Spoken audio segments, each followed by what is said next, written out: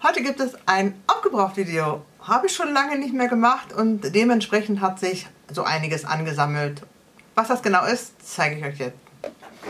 Machen wir das mal im Schnelldurchgang mit einer kurzen Mini-Mini-Mini-Review. Wir haben hier zwei Rasiergele von Balea und zwar Tropic Fantasy. Gibt es glaube ich nicht mehr, aber das spielt auch keine Rolle, denn eigentlich sind alle Balea Rasiergele in jeder Duftrichtung super, super gut. Ich liebe die, ich benutze die super gerne, allein wegen den Düften und wegen der Gründlichkeit. Die Klingen verstopfen nicht und äh, die Rasur ist gründlich und von daher wird immer wieder nachgekauft. Ein Duschgel habe ich aufgebraucht und es ist, glaube ich, das einzige Duschgel, aber ich benutze auch Duschgele von Avon, ganz viele. Allerdings kommen die in einem extra Video auf meinem Avon-Kanal, deswegen sind die nicht hier dabei. Nicht, dass ihr denkt, ich dusche so wenig. das ist ein Duschgel von Balea, äh, mein Lieblingsduschgel, ich liebe das. Und zwar After Sun. Nicht nur im Sommer, sondern auch im Winter eine Wohltat, weil dieser Duft unglaublich gut ist. Es riecht nach Sommer, Sonne, Strand, Meer und das kaufe ich immer wieder nach. Ein Balea Duschschaum. Ja, Balea Duschschaum. Ich finde Duschschäume immer sehr... Mm, also ich benutze nicht sehr gerne, weil die mir nicht das Gefühl geben, gründlich gereinigt zu haben. Es ist mir zu fluffig alles. Also vielleicht wisst ihr, was ich meine. Ich habe nicht das Gefühl, dass der Schaum sich komplett auf meine Haut auflegt und somit die Haut reinigt. Vielleicht ist das auch nur Einbildung. Duschschäume kaufe ich grundsätzlich nicht, aber das war halt in einem Set drin. Duschschaum Sea Minerals, das ist glaube ich eine LE gewesen. Ich habe hier aus dem Adventskalender von Yves Rocher noch kleine ähm, Probiergrößen gehabt. Die habe ich aufgebraucht von Duschgelen. Ähm, ich muss euch sagen, also ich überlege wirklich, mir eine Full-Size-Größe zu holen oder mehrere, denn der Duft hat mich total umgehauen. Und zwar von Argan, äh, Argan mit Arganöl und Rose. Dusche Hammam nennt sich das. Das sind diese hier. Also der Duft ist unbeschreiblich. Ich könnte drin baden. Es ist wirklich eine Überlegung wert, die als Full-Size-Größe zu kaufen. Ich liebe diesen Duft. Außerdem fand ich die auch nicht schlecht, ja, auch von Yves Rocher. Einmal Orange und einmal, ne, Orange Fondant nennt sich das eine und das andere ist, ähm, Gore, keine Ahnung, kann ich nicht lesen. Auf jeden Fall rochen die beiden. Oh, riecht nach Frangipani. Ist das Frangipani? Ne, Blackberry. Ja, okay. Blackberry. Riecht super, super gut. Und das andere ist halt etwas süßlicher. Ja, schokoladiger. Fondant eben. Orange Fondant. Riecht aber auch sehr, sehr gut. Shampoos habe ich auch aufgebraucht. Einige. Nicht nur von Avon, sondern auch hier von verschiedenen Marken, die ich euch jetzt zeigen werde. Einmal Bingo Spa. Das ist eine ähm, Marke, die hat mir ein ganzes Paket zugeschickt, die Firma damit ich die Produkte austeste. Und das tue ich natürlich sehr, sehr gerne. Bingo Spa Serum Shampoo mit 100% Keratin.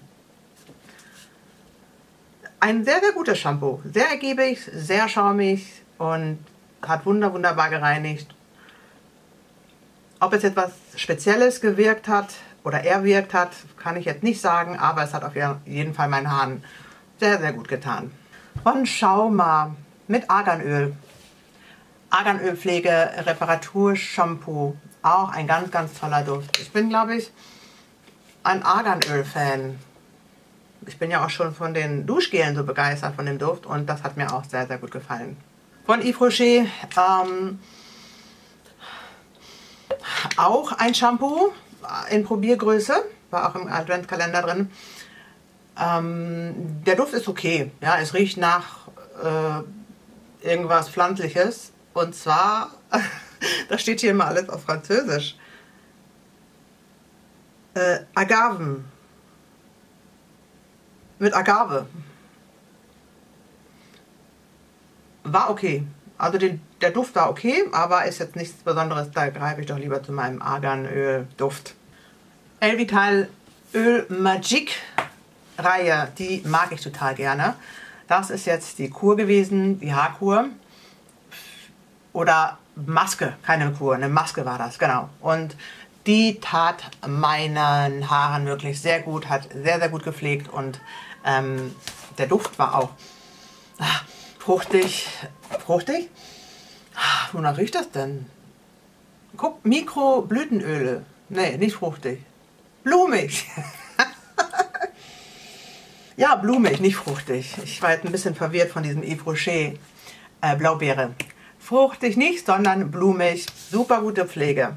Ein Body Scrub von Yves Rocher mit Aprikosenduft war richtig gut, weil die Peelingkörner einfach ganz, ganz toll auf meiner Haut gewirkt haben. Die haben alles weggeschrubbt, was weggeschrubbt werden musste, alle Hautschüppchen. Es tat auch nicht weh, die waren auch nicht zu ähm, grobkörnig und äh, nachkaufen würde ich es mir jetzt nicht. Da gibt es auch noch andere Peelings mit besseren Düften. Auch eine Probe von Yves Rocher. Und zwar eine, äh, ein Serum oder eine Maske war das. Leave-In. War das Leave-In? Ich habe es, glaube ich, immer ausgewaschen.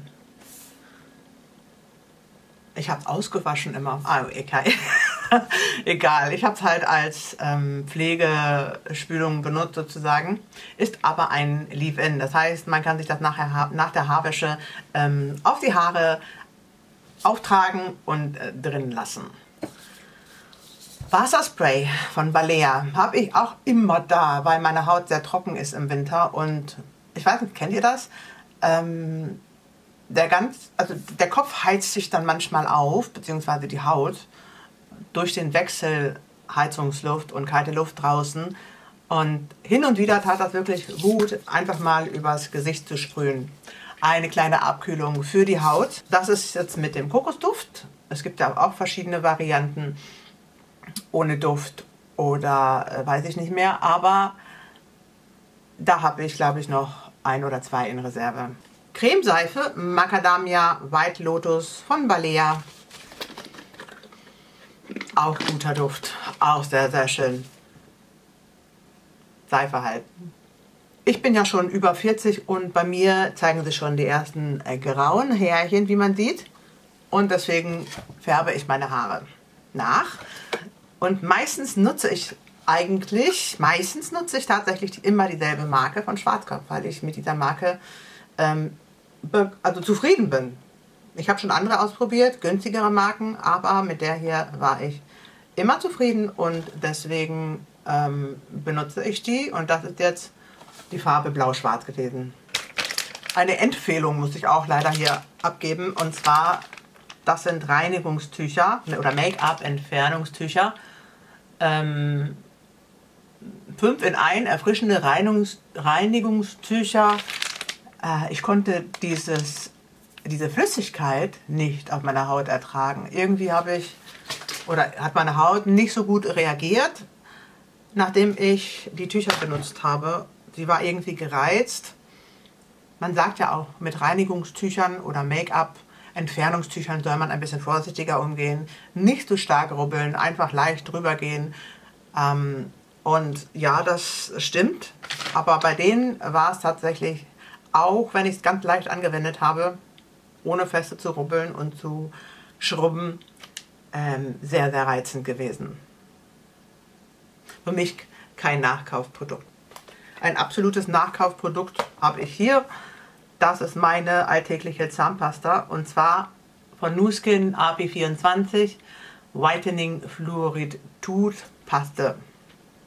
Das ist eine Zahnpasta, die ähm, die Zähne so ein bisschen aufhält, also nicht extrem, aber sie bildet so eine Art, in Anführungsstrichen, Teflonschicht um die Zähne und somit haben halt Teeflecken, Kaffeeflecken keine Chance, sich da anzusetzen, wenn man es regelmäßig benutzt. Und somit bleibt man vor Verfärbungen verschont. Danach hat man auch ein richtig tolles, glattes Gefühl auf den Zähnen und ein frisches Gefühl. Ich liebe diese Zahnpasta. Garnier Skin Active Micellen Reinigungswasser. Reinigungswasser? Ja, all in one und zwar waterproof. Ähm, Habe ich schon seit Ewigkeiten benutzt. Kaufe ich hin und wieder mal nach.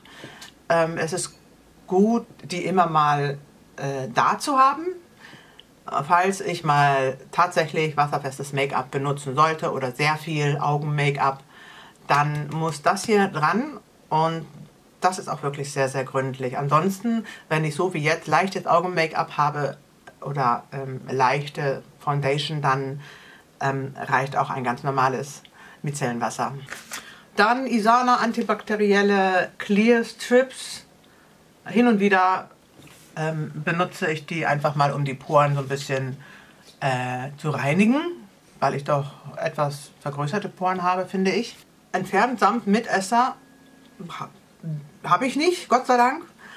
Äh, aber vielleicht einmal im Monat einen Strip mal drauflegen, tut ganz gut.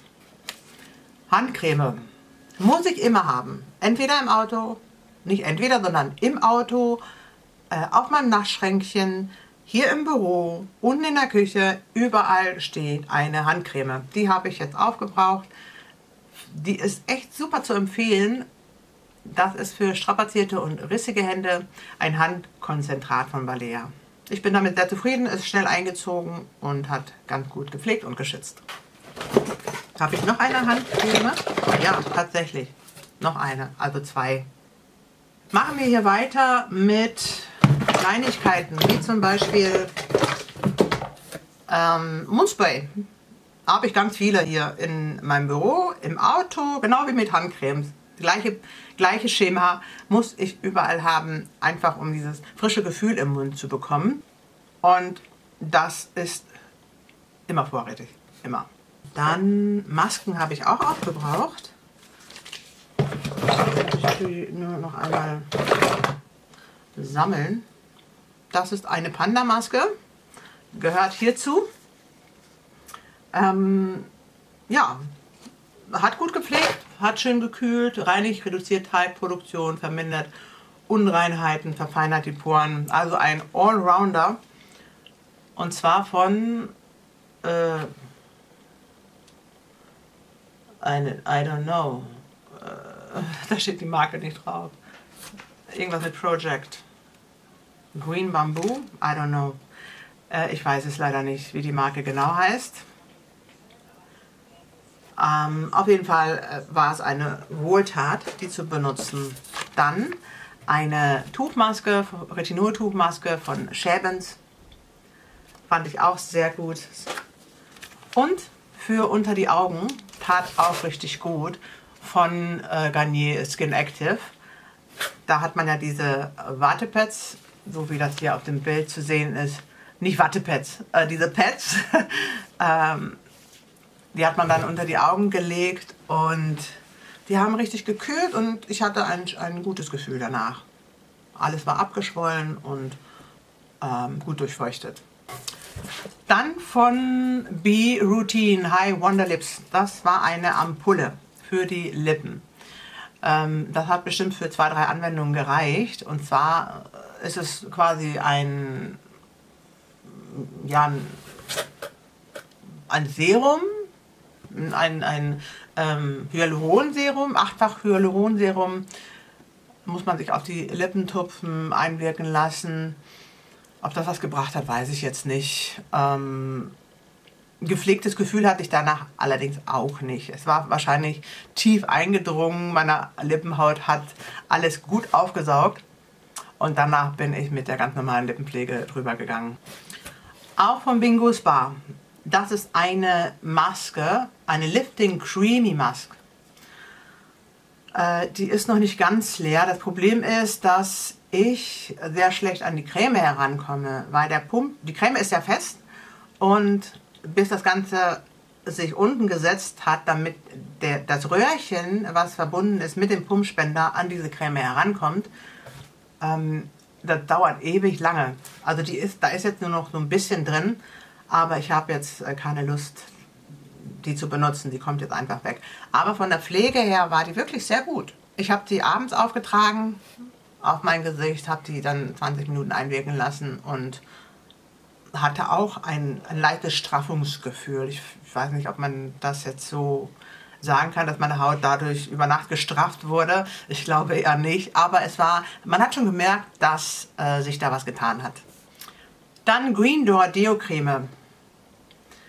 Ich fand die gut. Ich fand die nicht schlecht.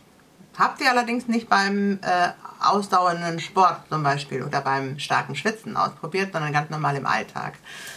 Man muss sich einfach eine erbsengroße Menge auf die Achselhöhlen ähm, einschmieren und das dauert eins, zwei Tage, bis das Ganze wirkt.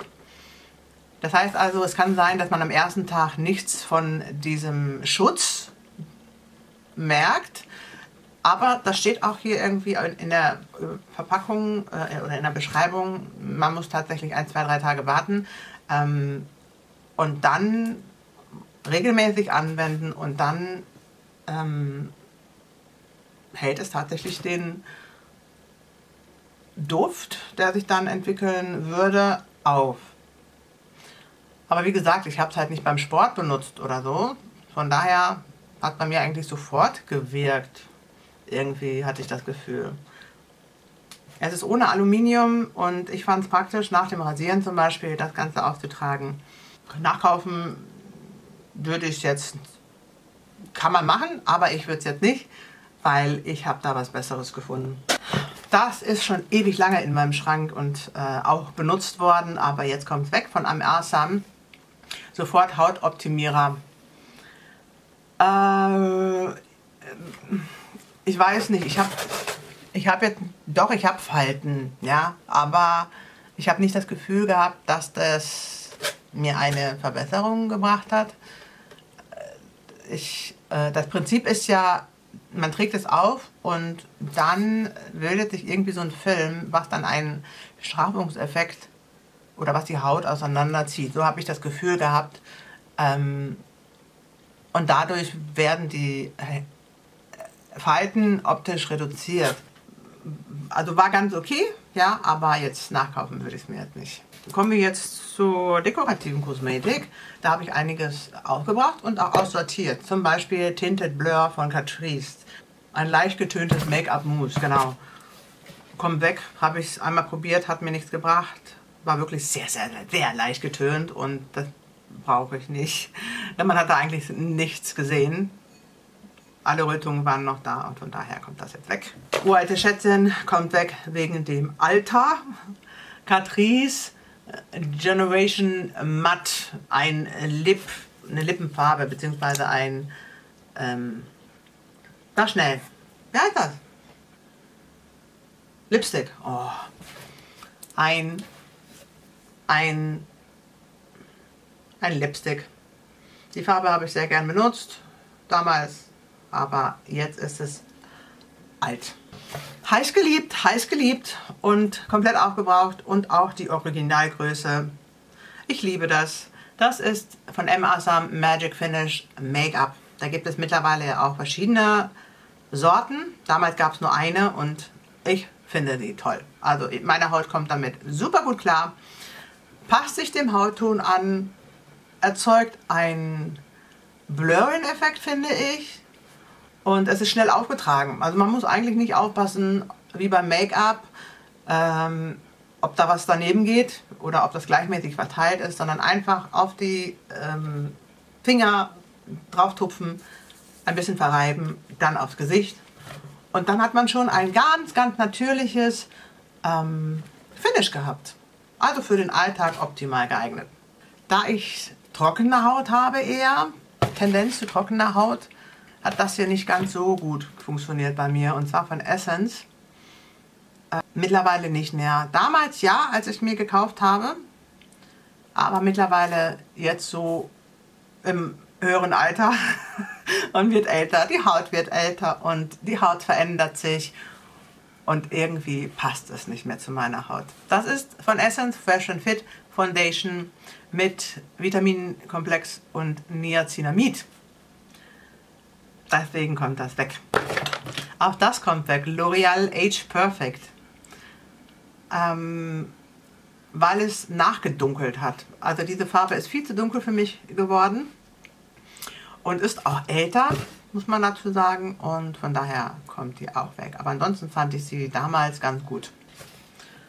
Die habe ich komplett aufgebraucht. Die war gut. Die war richtig gut. Und zwar von äh, L'Oreal Perfect Match Nude. Ganz, ganz toll. Also meine Haut ist damit super klar gekommen. Es hat einen tollen, ein tolles Finish gezaubert, hat alles schön abgedeckt und meine Haut fühlte sich auch nicht trocken an. Aber es ist tatsächlich aufgebraucht und das, was man hier sieht, sind halt noch die Restbestände, die nur an den Wänden kleben. Die fand ich auch gut. Und zwar ist das von M. Asam. Ich überlege mir, die nachzukaufen. Die ist echt gut. Und hier sieht man auch, dass es komplett leer nur Restbestände an den Glaswänden. Das ist Milchglas. Mega gut. Fand ich richtig toll. Und das ist das ähm, M. Asam Magic Finish Supercharge. Aber liegt halt so in einem etwas höheren Preissegment. Aber es lohnt sich. Ich denke, ich werde die mir nachkaufen. Wenn man was Gutes haben möchte, meine Meinung, dann bin ich auch bereit, ein bisschen mehr auszugeben. Das kommt jetzt auch weg. Das ist von äh, Unique Touch Mineral Liquid Foundation. Die war okay. Ich bin damit sehr, sehr gut klargekommen. Ähm, man muss halt nur gucken, dass man die passende Grundierung dazu hat. Das heißt also ein passendes, ähm, das hier. ah, pa Primer, Primer natürlich, einen passenden Primer. Und dann funktioniert es super. Nämlich den hier. Und den hier liebe ich. Der ist toll. Das hier kommt weg, weil es auch ein altes Schätzchen ist. Und das würde ich mir am liebsten nachkaufen. Ganz ehrlich, auch von Unique Hydrating Face Primer, komplett aufgebraucht, da kommt nichts mehr raus. Ähm, weil es eben gut Feuchtigkeit gespendet hat und trotzdem eine gute Basis gebildet hat, um dann mit dem Make-up dran zu gehen. Fand ich auch gut von Judith Williams Cream and Care Foundation. Hat auch ein ganz tolles Finish gezaubert. Hat meine Haut super gut vertragen. Ähm, hat alles ganz gut abgedeckt. Und ich habe die wirklich sehr, sehr gerne benutzt. Und die ist jetzt ein bisschen alt. Also ich kann auch die letzten Reste jetzt nicht rausziehen, weil die da schon so ein bisschen ähm, eingetrocknet ist. Aber die würde ich mir auch auf jeden Fall irgendwann mal nachkaufen. Dann haben wir noch äh, ein Produkt, was ich überhaupt gar nicht, mal so gar nicht empfehlen kann. Und zwar ist das von Yves Rocher ein Lippenstift.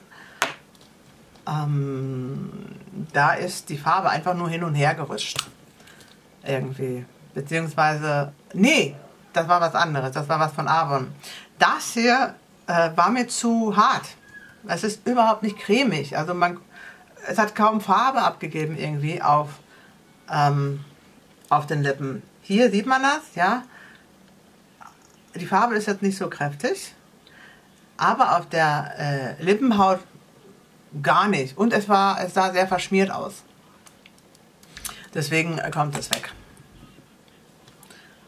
Äh, das nennt sich Rouge Vertige. Rouge, Rouge Vertige. Und wovon ich mich schweren Herzens, schweren Herzens, wirklich verabschieden muss, ist dieser Lippenstift.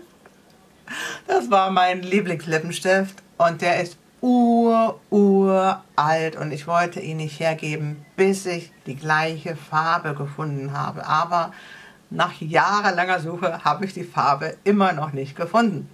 Von Essence. Äh, Come Naturally.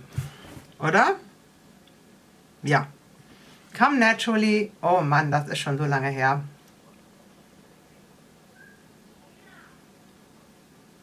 so lange her.